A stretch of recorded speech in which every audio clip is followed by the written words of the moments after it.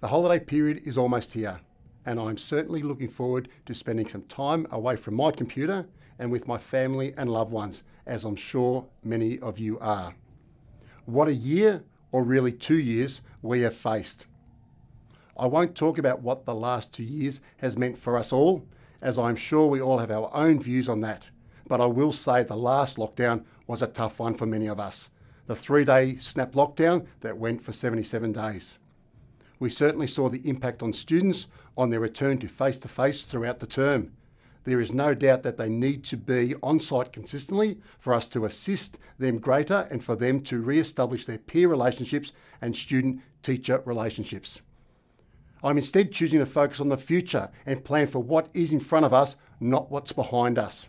What I promise to you all is that I will reinstate extracurricular opportunities both inside and outside of the college, all camps and excursions, interstate and international experiences to return with government approval around safety, sporting teams and lunchtime clubs, and any new initiatives that we believe will build strong connections between students and staff.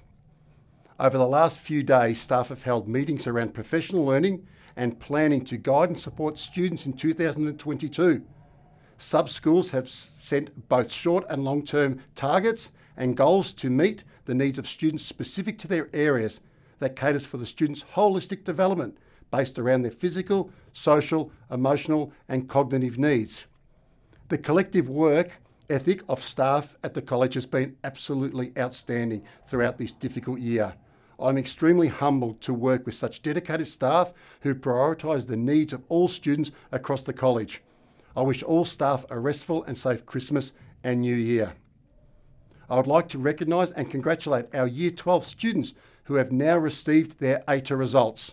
I hope that all the hard work throughout the year has paid off and that your future pathways into further study were achieved. Our dux this year has scored an ATAR above 95. I received correspondence yesterday from the department informing me that children between the age of 5 and 11 will be eligible for vaccinations as of the 10th of January next year, 2022. I recommend all families to consider vaccinating your children after completing your own thorough investigation of all the pros and cons for your child. I want to reinforce that the school and staff do not enforce that any child to be vaccinated. This is a personal and family decision.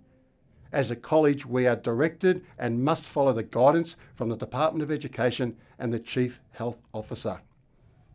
Thank you to all our families for your ongoing support and trust in us. This is what makes schools strong. Strong connections with parents and guardians and families built on mutual respect and trust.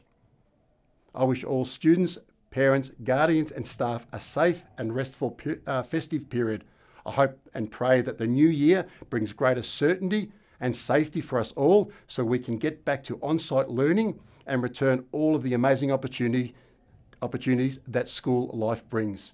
Merry Christmas and Happy New Year.